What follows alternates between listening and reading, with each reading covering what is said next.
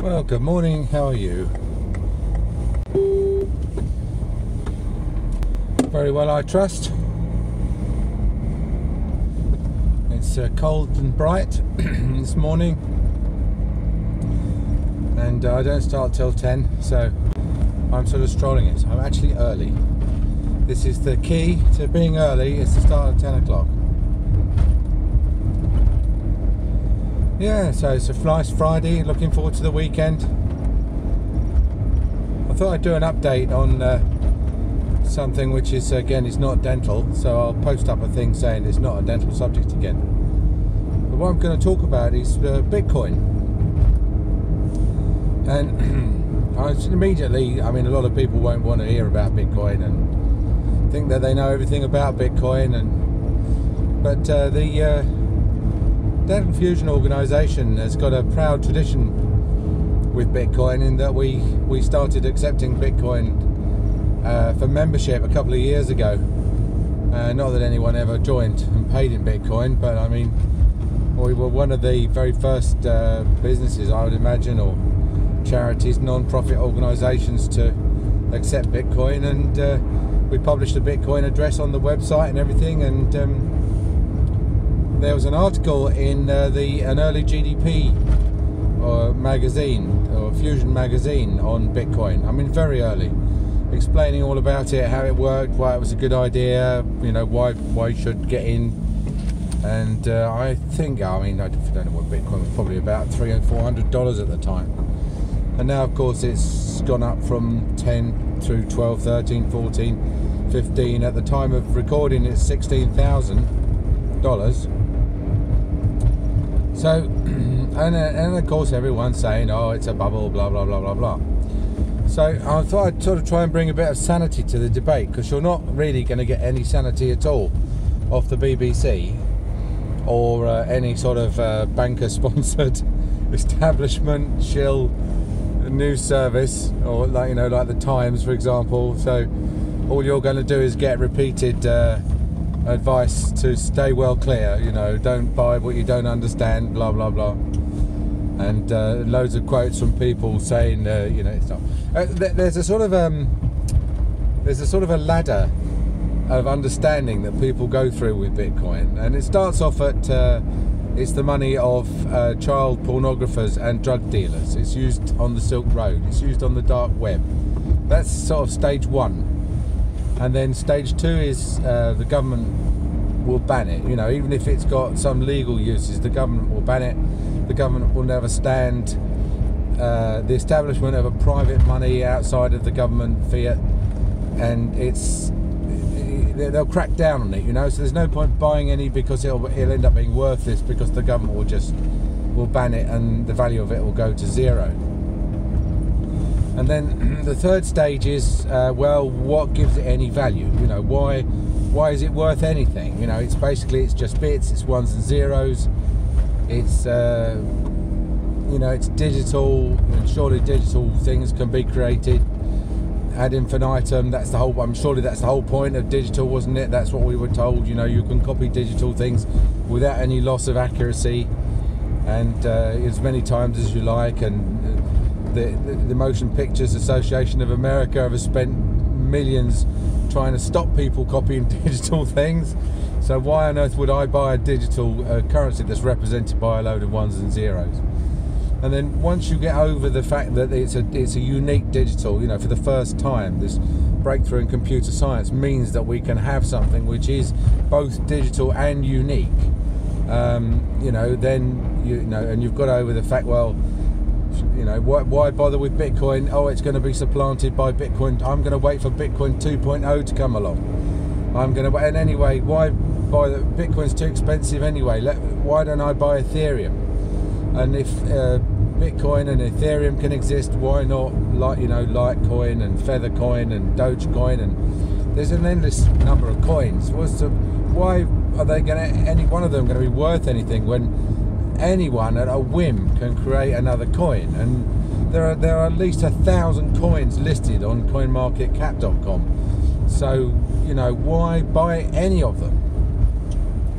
And so you have to get over that sort of uh, you know, someone has to explain to you that anyone could invent the internet. They, there's no, there's nothing stopping someone inventing a second World Wide Web uh, or a second telephone system, or you know, or a second anything. It's it's all about first mover advantage and network effect. So then you've got to get your head around first mover advantage and, and network effect, and the reason why people don't want uh, the, the you know some knockoff Bitcoin. They want Bitcoin. You know, they want the one that everyone else has got. In the same way as if when you sign up to a phone system, you want to get on the phone system that everyone else has got, don't you? Because otherwise you can't phone anyone.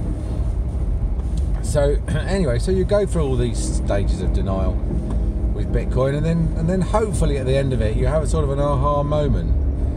You know, you, you sort of you think, oh yeah, no, I finally understand what it is. You know, another stage is a, the Ponzi scheme stage, where you say, well, it's it's a Ponzi scheme, but because basically, you know, the people who got in early are making a load of money, and they're making a load of money because the people who got in later are buying, and so the the people, the later people are giving their money to the earlier people. Therefore, it's a Ponzi scheme. So you know, leaving aside that Ponzi scheme based basically based on dividends and dividends, the early the early adopters get paid dividends out of the income from the later, so that they still own them the first uh, early adopters still own their coins or their their Ponzi's or whatever they are, and the later ones also own Ponzi's, but the later ones pay the early ones, and that's not the case with Bitcoin. You know, if you're if you sell a Bitcoin, then to someone who comes along later at a higher price, then you don't have that Bitcoin anymore. That's it. It's just it's like anything else. It's like selling a house. It's like selling gold. You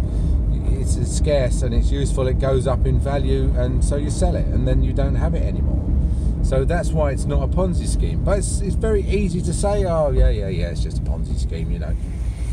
And, and a variation on the Ponzi scheme is what they call the greater fool theory, which is where you buy something that is, is fundamentally worthless uh, in the hope that you can sell it to some other idiot, some bigger idiot, some greater fool.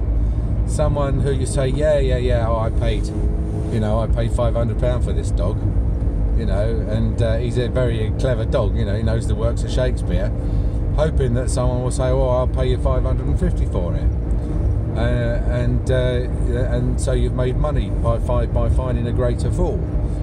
Now, and, and the problem with that, obviously, is that that only works, you know, if something's got no intrinsic value, then you need to find a greater fool. You've been a fool for buying it, and you need to find a greater fool to take it off your hands, don't you?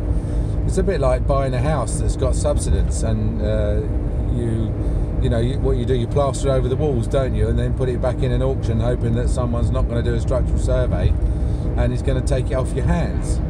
But that's bitcoin is not like that. It's not it has intrinsic value. It's worth uh, it's worth something.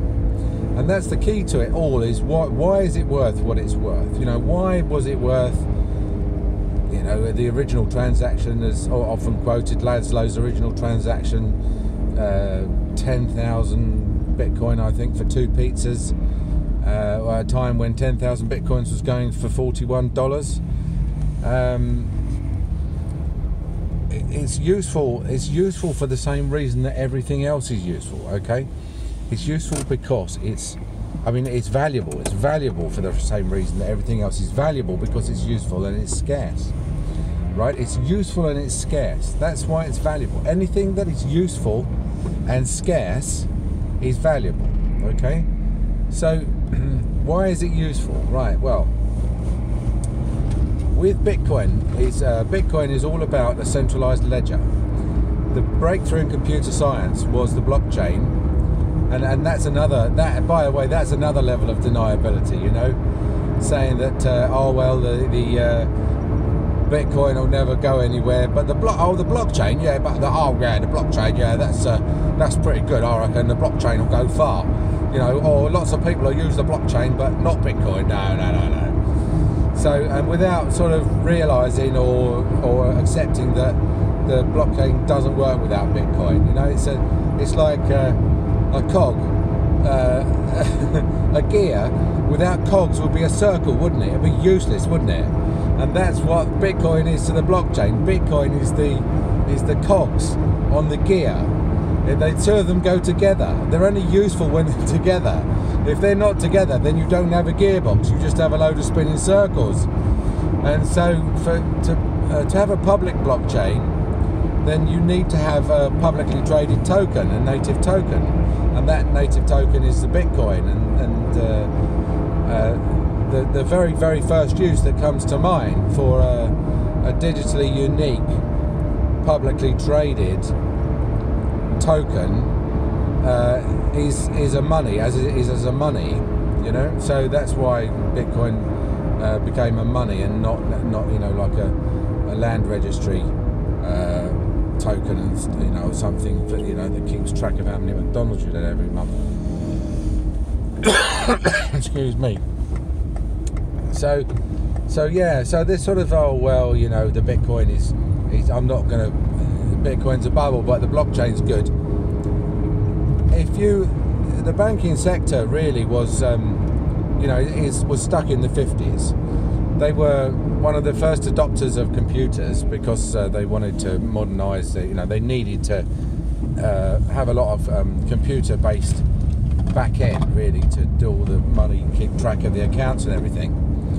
And so what they did was they were very so they're relatively early into computers, which means that these days they are they're running on systems which are pretty antiquated. You know, I mean, and by antiquated I'm talking you know 70s and 80s based systems, and they're ripe for modernisation.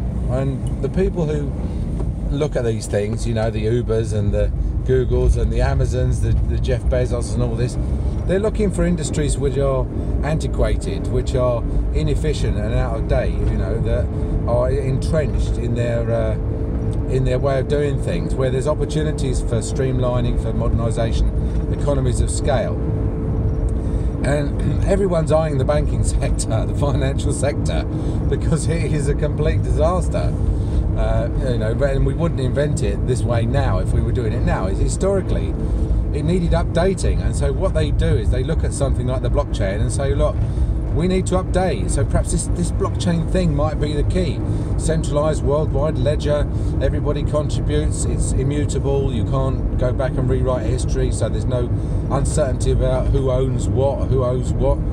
You know, we, we could use this. It's got big applications in banking, and it does, in, and in finance and insurance and law and all sorts of things. I mean, who can't use an immutable blockchain? But um, the thing is that they are like, oh, well, we, we're not going to use a public blockchain that's going to have a publicly traded token, native token like the Bitcoin blockchain. We're, we're just going to have our own little blockchain, our own, uh, you know, our own like Lloyd's Bank blockchain, and HSBC will have HSBC blockchain. And uh, it won't be immutable because uh, HSBC will have the keys. And so if they do want to rewrite a bit of history, they'll just say, oh, can you change last Thursday's closing balance, please? Here's the private keys. And uh, so, it's, you know, basically what that is is a distributed database. It's just a SQL database. It's not a blockchain at all. And they, they don't, you know, they don't really understand the difference between between a distributed database and a blockchain. They think the two are the same. So, um, so uh, you know, you know, and you've got people like Jamie Dimon, head of JP Morgan, saying that Bitcoin is um is a bubble. You know, he's a tulip, he's a rerun of the tulip bubble of 1635 or whatever, and uh, it, that is just you know to compare to compare you know the first private money really for a hundred years to a to a 500 year old uh, blip in the price of tulips you know, because everybody they they've worked out to breed variegated tulips, and so everybody the price shot up, and so everybody piled into the tulip market, and then uh, it collapsed, and everybody piled out again. You know, I mean that was just a buying frenzy, uh, and this is not a buying this is not a buying frenzy. I mean a tulip. You more or less know what the value of a tulip is. Even a nice variegated tulip is going to be within a certain price range. How do you value a system that is where is capable of transferring value between any two people anywhere in the world at any time of the day or night for uh, practically free of charge and without any bank or government interference it's you know like a real uh, democratization of value you know um, how do you put a price on that and that's the thing you know, another one of the uh, the uh, things is it's um, it's volatile. Yeah, well, of course it's volatile. I mean, it's only been around since it's only been around about five or seven years. I mean, think how think what the internet was like after five or seven years. You know, while HSBC, HSBC, and and these guys trying to do their own blockchains, they're a bit like AOL. Do you remember on CompuServe in the early days of the internet? They they said, oh yeah, you know, you don't want to worry about that public internet. Just come in our little walled garden internet. You know, we'll give you like a nice little at AOL email and when you come on you'll go straight into our website and oh it won't have anything it won't have anything in there that we don't want in there but you know you'll be safe there. You'll be safe. And of course people didn't they don't want that. They want the, the worldwide internet. They want the world wide web don't they? So no one's going to be interested in in any sort of uh, subset of uh, of the, the financial value ecosystem. They're going to want to be able to transact. And uh, the ability to transact anytime, anywhere with anyone in the world uh, without asking permission of your bank and uh, or government uh, for, for practically zero cost is um, is a fantastic value proposition. How much is would that you know a, unit of that currency be worth? The currency with that, you know, think of all these poor these poor Chinese people trying to get into Macau and Singapore and Hong Kong with two kilos of uh, gold stuffed up their bum how what, do you think that they're not going to use a value a currency that allows them to transfer any amount of money anywhere in the world with no capital controls uh, for, for, for, for practically nothing of course they are how much is that currency going to be worth and that's what we're seeing we're seeing the birth of a new currency the internet of money um, it's um, and you have to sort of try and get your head around that you know and get get past the, the money box analysis of bitcoin you know don't stay well away. It's a bubble. It's it's got a pop. It's got a pop. You know, uh, it's got a pop. stand back. Stand well away. So move away from the Bitcoin.